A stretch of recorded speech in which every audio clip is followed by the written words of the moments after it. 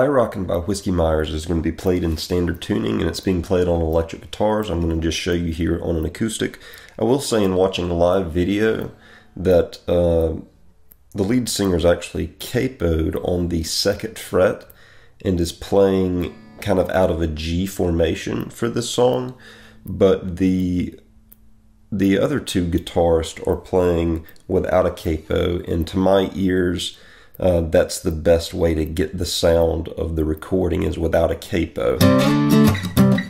So the intro is going to be utilizing some bar chords. You've got your first finger on the five string three fret, and then your pinky finger barring across the fifth fret of strings four, three, and two on the second on the uh, fifth fret. You'll strike that, and then you'll slide up two frets into a D position. Then you'll come back down to the C, hit that, and then drop down to an A. And that's most of the song right there.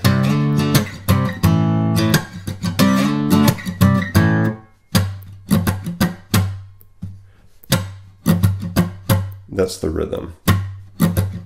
So it's like down, up, down, down, down.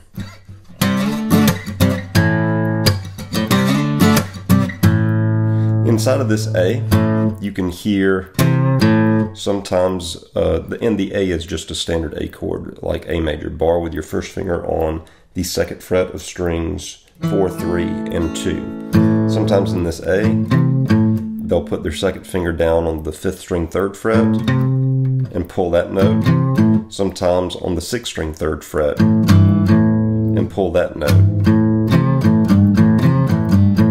variations between those two embellishments. So you can do that. And this is the intro, and it does it like four times, but on the last time it goes. So the way that you're going to do that is it slides up to the D, then back down to the C, but then you come all the way up to an E. So this is fifth string, seventh fret with your first finger and pinky finger barring the ninth fret of strings four, three, and two. You'd hit that once, that's your E chord, then come down two frets to the D chord, come down two more frets to the C chord. So that's, uh, and then you go back to the A chord, so in the A chord, you'll put your second finger down on the fifth string, third fret, pull it a little bit, and then open it back up to the A. And that just repeats uh, as the intro. Now, whenever we get to the verse,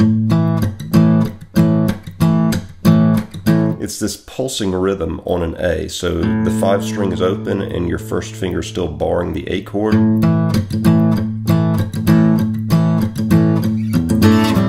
And you can hear that little lick. What that is, is I've got my ring finger on the four string seven fret and pinky finger on the three string seven fret. I hit the open five and then those two fretted notes and then bar with my first finger the fifth fret of strings four and three. Or sometimes you might just go, um, you could just hold it on the fifth string third fret if you wanted to, but it sounds like guitars are going and kind of pull that barred note as you hit it and then back down to the A.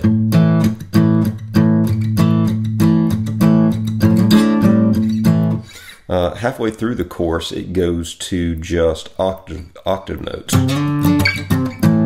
So, uh, sort of like before with these full bar chords, except for just put your first finger on the five string three fret and pinky finger on the three string uh, five fret. I'm sorry. Put your yeah, I think I said that right. Your first finger on the five string three fret, and your pinky finger on the three string five fret, and then slide those two octaves up two frets to the D note, and then back down to the C, and then back down to the A. And this is happening in the back half of the verse.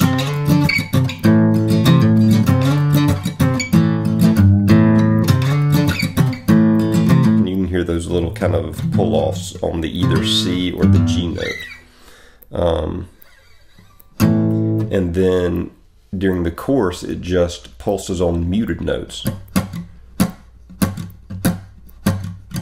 and does a walk up. The way that you would do that part is to hit the open sixth string and then quickly hammer on with your first finger to the sixth string second fret and then go with your second finger to the sixth string third fret go with your ring finger to the sixth string fourth fret, and then raise it one more fret to the sixth string five fret.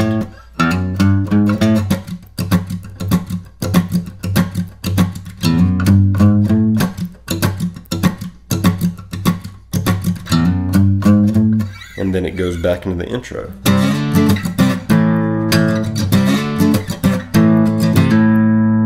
So those are the chords and the movements to Die Rockin'. Hopefully that gives you an idea of how to approach the song.